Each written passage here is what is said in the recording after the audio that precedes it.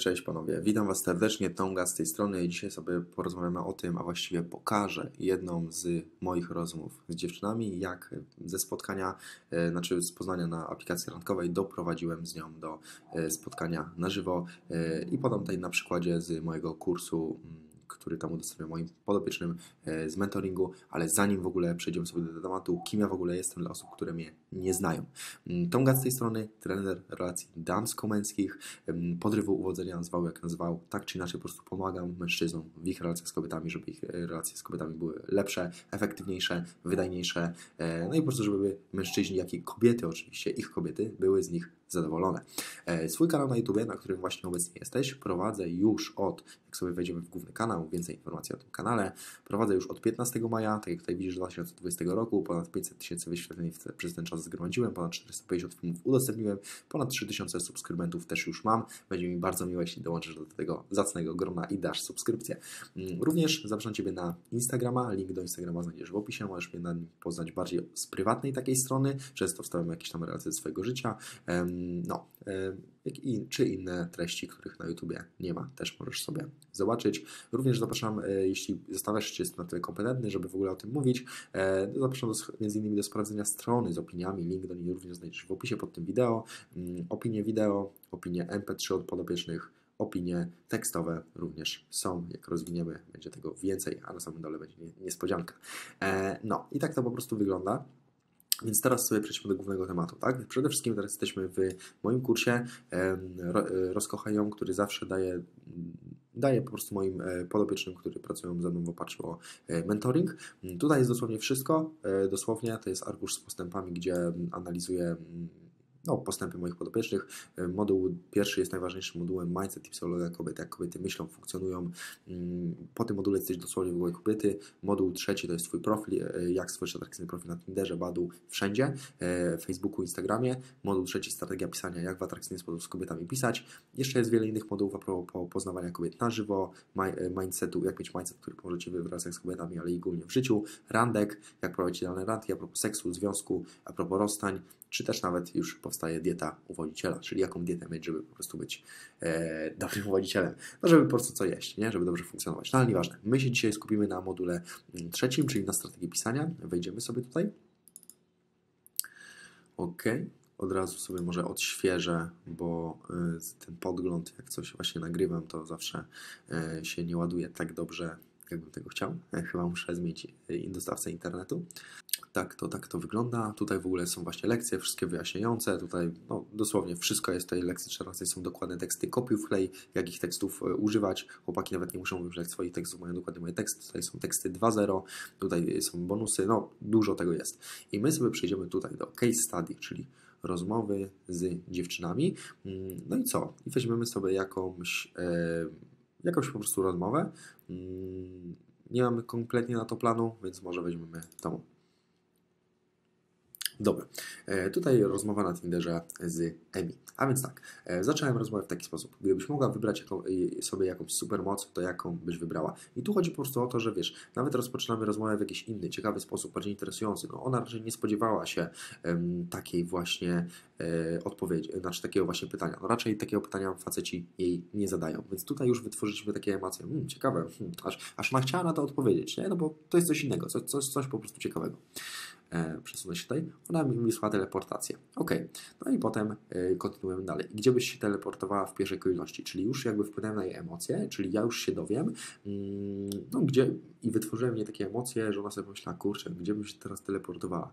No najbardziej to bym chciała pojechać, nie wiem, do Hiszpanii, przykładowo, nie? I ona gdzieś, gdzie jest ciepło. A ty, jaką wybrałbyś supermoc? No i widzisz, już tutaj poznaliśmy mniej więcej ją, ona sobie wyobraziła to, że kurczę, ciepło jest, fajnie by było, nie? E, się tam przynieść, ona poczuła po prostu te emocje, te emocje, te, te, tego ciepła, tak? Mm, w jakimś innym kraju, powiedzmy. E, I ona, e, a ty jaką byś wybrał supermoc? E, ja wybrałbym latanie. Zawsze chciałem być jak Superman, nie? No, tutaj no, tak rzeczywiście było. Superman też mi się podobał zawsze. Fajny, fajny, fajny goście. No, ale dobra. Ja wybrałbym latanie, zawsze chciałem być jak Superman. Tutaj trochę takiego humoru, żartu wplataliśmy. I ona, ha, typowe, każdy facet o tym marzył. I tutaj daliśmy trochę takiej wartościowej wiadomości, czyli powiem Ci, że właśnie skończyłem tydzień szybkiej nauki stania na rękach i powiem Ci, że rzeczywiście stoję na rękach, może nie perfekcyjnie, ale 15 sekund daję radę bez problemu. A u Ciebie co tam? Czyli tutaj chodziło o to, że zobacz, ona mi 18 lutego e, właśnie coś tam napisała, właśnie tą wiadomość, ja jej nie odpisałem potem dwa dni, nie wiem, pewnie miałem dużo innych dziewczyn, czy dużo innych zajęć. E, i po dwóch dniach jej odpisałem na wiadomość, no i napisałem taką wartościową wiadomość, czyli żeby nie, nie zawsze, nie, zawsze o tym pamiętaj, żeby nie zaczynać wiadomości od y, y, typu hej, co tam u Ciebie słychać, bo to jest nudne, Ty od razu chcesz coś wziąć od dziewczyny, tylko najpierw daj coś od siebie, daj jakąś wartość, nie, do interakcji, bo o to chodzi w ogóle w relacjach z ludźmi i relacjach z kobietami, że Ty najpierw musisz coś od siebie dać, dać jakąś wartość, żebyś potem mógł coś wziąć, na przykład mówię z dziewczyną randkę, spotkanie, czy coś tego typu. Mm, więc dałem jej najpierw wartość, powiedziałem, co tam u mnie słychać i się zapytałem, co u niej słychać, nie, i ona, ciekawa rzecz, nie odpisała mi, tak, nie odpisała mi, więc e, ja zaczekałem dwa dni, żeby nie być nachalny, żeby nie być natrętem i napisałem do niej, jesteś w tym internecie, czy wezwać ekipę ratunkową. Po dwóch dniach ona mi odpisała, e, dalej czekałem, wstrzymałem, jeśli by nie odpisała, to czekałbym kolejne dwa dni, żeby nie być znowu natrętem, tak? Mm, no i ona mi znowu odpisała tam po kilku, ośmiu godzinach mniej więcej e, o 20.35, popatrz na daty, napisała, sorki, bardzo rzadko tu zaglądam, u mnie dobrze, w poniedziałek miałam urodziny, więc trochę świętowałem, a tak to sporo pracy, nie? I to jest oczywiście, pamiętaj, że zawsze to jest najczęstszy powód. W 99% przypadków zawsze najczęstszym powodem, dlaczego dziewczyna Ci nie odpisuje, jest to, że zapomniała Ci odpisać, że rzadko bywa na tym komunikatorze. Że pamiętaj, Ty nie jesteś dla niej kimś wyjątkowym, Ty jesteś dla niej facetem, którego dopiero co ona poznała lub poznaje. Co innego, jak jesteś jej, nie wiem, facetem, z którym się spotkajesz piąty, szósty raz, to jest inna sytuacja, ale jak Ty ją dopiero poznajesz na aplikacji randkowej, czy dopiero zacząłeś się z nią spotykać, to Ty nie jesteś dla niej aż tak ważny, czy aż, aż tak ona bardzo o tobie nie pamięta. W międzyczasie ona ma jeszcze mnóstwo innych gości, którzy do niej piszą, e, w międzyczasie ma jakieś, nie wiem, znajome, koleżanki, dużo rzeczy na głowie i tak dalej, nie? Uwierzcie mi, że bo często mężczyźni e, rzeczywiście takich ich e, bardzo dużym stymulatorem i zawsze znajdą na to czas, żeby odpisać czy napisać do jakiejś dziewczyny. Kobiety nie mają na to aż takiego ciśnienia, bo one mają tego aż nadto, aż nadto w dzisiejszych czasach, nie? Więc, więc tak to wygląda. No i tak, 100 lat Emi spóźnione, ale szczere. Mm, w takim razie może przeniesiemy się na Insta, y, czyli złożymy życzenia i jakby od razu mówię, przenieśmy się na Insta z tego względu, że już jakby dostałem tutaj sygnał, że ona rzadko tutaj bywa, więc, a odpisała mi, więc pokazała powiedzmy w jakiś sposób swoje zainteresowanie. I ona, dziękuję, jasne, to od razu mi podała swój Instagram. E, Aha, I to, i to jest bardzo ważna rzecz, że zawsze jak się przenosisz dziewczyną na jakiś tam inny portal, WhatsApp, Instagram, Facebook, gdziekolwiek, napi napisz do niej i napisz coś takiego, napisałem, pewnie będzie w innych, bo się nie obserwujemy, czyli żeby dać jej znać, że Ty już napisałeś i żeby sprawdziła inne tam foldery, bo często jest tak, że jak do dziewczyny napiszesz, to dziewczyna Tobie nie, może nie zobaczyć Twojej wiadomości, bo gdzieś wpadła ta jej wiadomość do spamu i tak dalej, więc warto jej o tym dać znać, żeby to sprawdziła, nie? No i tak, napisaliśmy, cześć, tu Kasper z aplikacji dla poszukujących miłości, nie? No Kasper, bo, no bo nie chciałem e, Tom nazywać, też miałem sytuację, że ktoś, a ty nie jesteś przypadkiem y, trenerem y, coś tam podrywu z, y, z YouTube'a i od razu mnie kasowały, nie? Więc, y, więc lekka zmiana imidżu. E, no, e, poszukujący miłości, hej, z, czyli takie inne rozpoczęcie wiadomości w inny sposób. Hej, zawieruszyła mi się Twoja wiadomość w innym folderze w innym folderze. E, widzisz? Dokładnie, dokładnie to, o czym Ci mówiłem. Zawieruszyła mi się Twoja wiadomość w innym folderze. Gdybym ja jej tego nie napisał, to prawdopodobnie ona mogłaby nawet nie zobaczyć tej mojej wiadomości, nie? Mm, jak tam mija Ci dzień? Właśnie skończyłem To, to było dobre.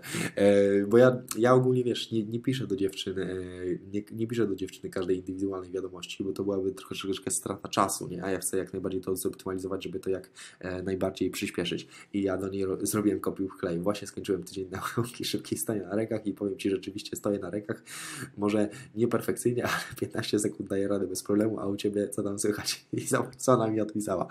To już mi mówiłeś, XD. I po co Ci ta 11 śmieszne, to mnie mm, rozśmieszyło. E, to już mi, bo rzeczywiście, zobacz, ja, ja jej to napisałem, nie? Tutaj. E, tutaj jej to napisałem i się za, zakręciłem i napisałem jej to jeszcze raz ale w żaden sposób to nie wpłynęło negatywnie. E, no, bo ona nawet no, jakby tego nie ogarnęła, nie? Emocje poczuła, też, też było spoko, nie? E, u mnie dobrze, w końcu trochę odpocznę. Lubię przełamać własne granice. Po prostu zwykły odpoczynek. E, duży, co by dużo facetów w takiej sytuacji zrobiło? Zaczęłoby się tłumaczyć, że oj, no tak, przepraszam, już ci to mówiłem, zapomniałem, bla, bla. Tłumaczyć by się zaczęli, bo myśleliby, że to w jakiś sposób negatywnie wpłynęło na jej odbiór, na odbiór twojej osoby. Nie, uwierz mi, że nie warto się czasem tłumaczyć dziewczynie. No i po prostu lubię przełamać własne granice. E, i tyle, koniec tematu.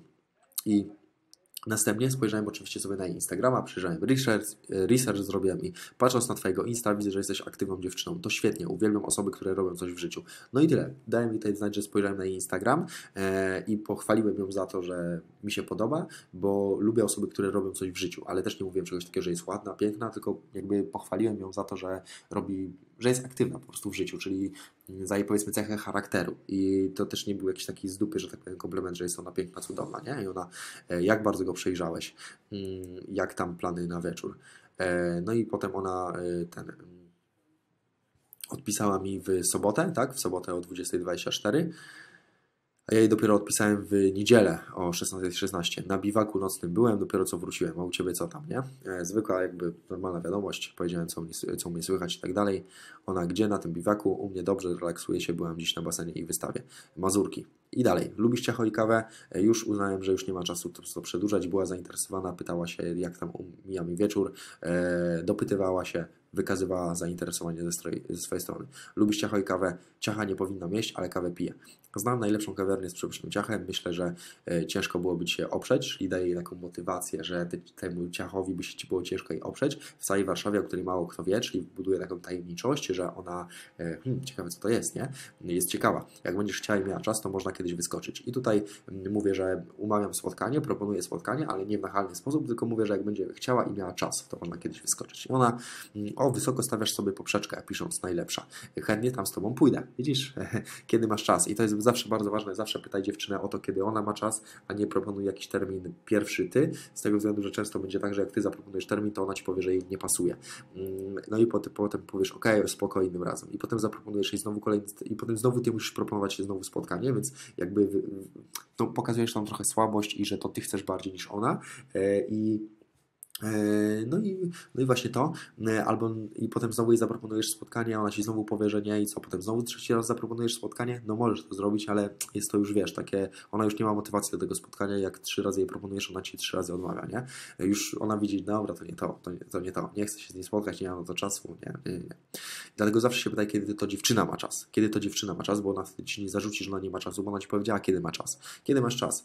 Hmm, naj, najwcześniej w piątek, mam warsztaty z pracy, więc Y, mam ograniczony czas. Piątek byłby idealny, szczerze mówiąc. To super. A gdzie jest ta najlepsza kawiarnia? O 16 kończę pracę i jestem wolna. Na Powiślu, ale na, na ten moment to wszystko, co mogę Ci powiedzieć, hashtag tajne, nie? To taki humorek y, wplatuję, żeby też trzymać cały czas tą tajemniczość. Nie mówię jej, co to jest za miejsce, bo ja nie chcę jej po prostu mówić. Mm, inaczej ona by nie miała takiej motywacji do spotkania się ze mną, nie?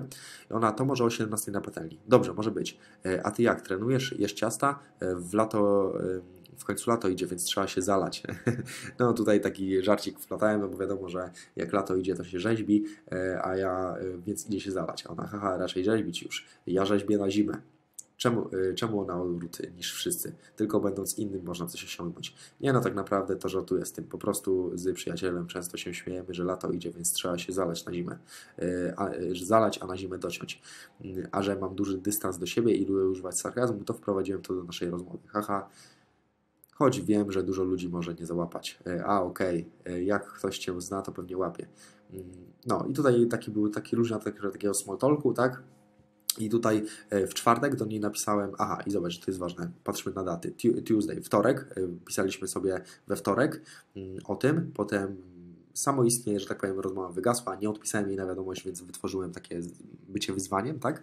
No i potem e, nie pisaliśmy już od e, powiedzmy wtorku od 18.56, środa też nic nie pisaliśmy i w czwartek o 14.05 napisałem jej siemka, z mojej strony wszystko aktualne co do jutra, żeby potwierdzić to, a nie żeby było coś takiego, że wiesz, ja do niej w piątek napiszę cześć i jak tam widzimy się dzisiaj, bo ona nawet pewnie zapomni i myśli, że ja zapomniałem też o tym spotkaniu, więc ja jej to potwierdzam, że zawsze dzień wcześniej, nie? Mm, siemka, z mojej strony wszystko aktualne co do jutra, hej, z mojej również, E, do zobaczenia o 17 na patelni. Do zobaczenia. No i się zobaczyliśmy. I tak to po prostu wygląda. Tak to się robi. no. Mm, jeśli Ty masz problem w relacjach z kobietami, e, nie wychodzi Ci to, mimo szkoleń, kursów, może mnóstwa przejrzanego materiału na YouTube ode mnie czy od innych twórców, nadal Ci nie wychodzi. Mimo tutaj, że ja Ci pokazałem samą rozmowę, nadal Ci to nie wychodzi, e, możesz umówić się ze mną na darmową rozmowę, jeden na jeden. Link do niej znajdziesz e, w komentarzu. Ona jest zupełnie za darmo, niezobowiązująca. Na niej ja zadam Ci kilka, kilkanaście pytań. Zobaczę Twoją obecną sytuację, z czym Ty się zmagasz, z czym Ty masz problemy e, i z odpowiedzi na te pytania ja wybadam Twój problem. Powiem Ci, gdzie leży Twój główny problem, co jest jego przyczyną i powodem, tak? I potem przedstawię Ci jakiś plan działania, jak, ja bym to widział u Ciebie, żebyś po prostu, mm, żebyś po prostu sobie polepszył te relacje z kobietami, tak? Dał, przedstawię Ci po prostu plan. To jest za darmo, niezobowiązujące, myślę, że warto skorzystać. Ja i Ty się spotkamy, więc e, fajnie, fajnie też poznanie się. Również zapraszam Cię do odebrania darmowego prezentu skrypt plus nagranie rozmów z dziewczynami, dzięki którym omawiam 4 anki tygodniowo z dziewczynami 10 na 10. To jest za darmo. Również zapraszam do mojego Instagrama oraz do sprawdzenia strony z opiniami, do której również link znajdziesz poniżej. Dziękuję Ci bardzo. Zapraszam do e, lajka, subskrypcji, przejrzenia innych moich treści. No i co? Do zobaczenia. Cześć.